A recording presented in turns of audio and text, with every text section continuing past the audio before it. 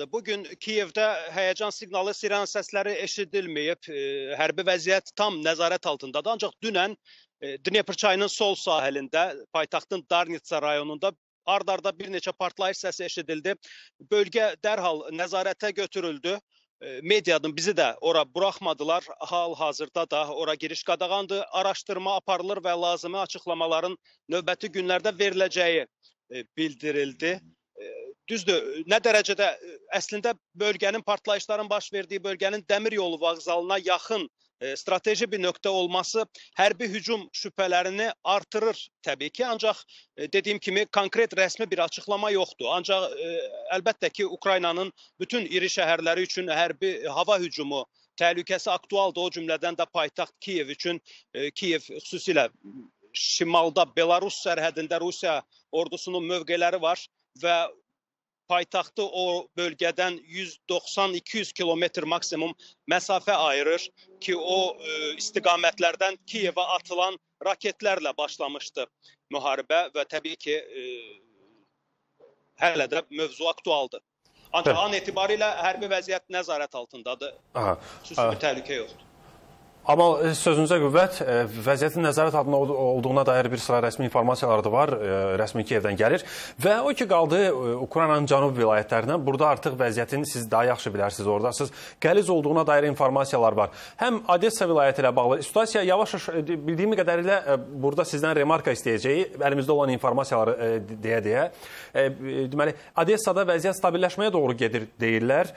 Deməli, Nikolayev vilayətində vəziyyət gərgindir, amma insanların axışı biraz da sürətlənib. Əvvəlki həftələrlə müqayisədə daha çox insan gəlir, amma onlar da sorğular aparılıb Ukraynanın öz mediasında açıqlamalara görə. Narahatdırlar ki, Rusiyanın ikinci fazanın hədəfi kimi həm Nikolayev vilayəti, həm də Odessa, e, deməli, Nikolayev şəhəri, həm də Odessa vilayəti bu e, hədəflərə daxildir. Üstə gəldə Severodonetskla bağlı çox qarışıq informasiya var. Ukrayna tərəfindən deyilir ki, Rusiya tərəfindən bu ərazilər bombardıman edilir.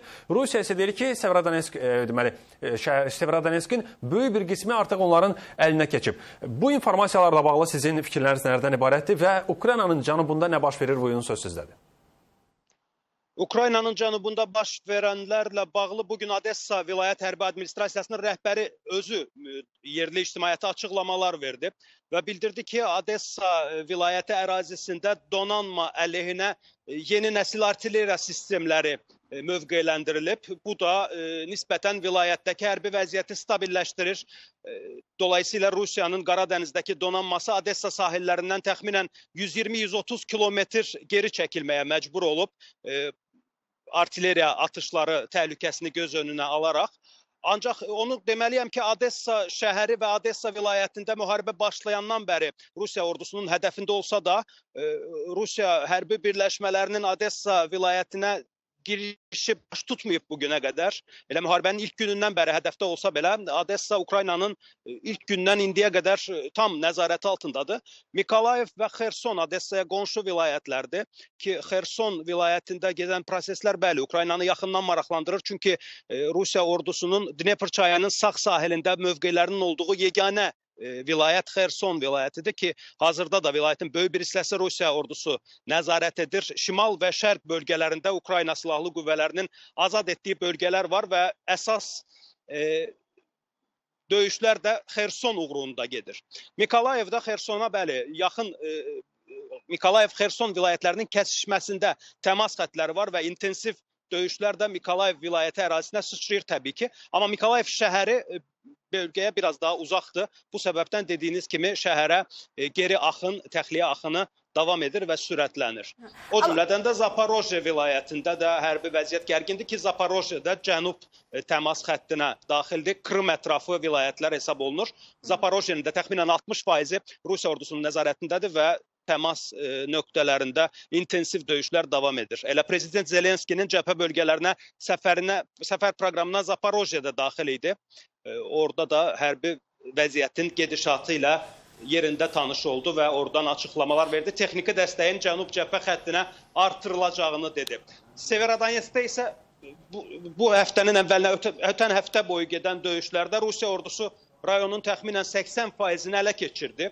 Son iki gündə gedən əməliyyatlarda Ukrayna silahlı qüvvələri e, hücum, əks hücum əməliyyatları ilə Rus ordusu geri oturduldu və hazırda Severodonetsk və Lisichansk rayonları Müdafiə Nazirliyinin rəsmi mövqeyinə əsasən e, Ukrayna ordusunun nəzarəti altındadır. Artilleriya atışları təbii ki, həyata keçirilir. Luqanskda və e, Donetskdə, yəni Donbas bölgəsində artilleriya döyüşləri demək olar ki, səngimir.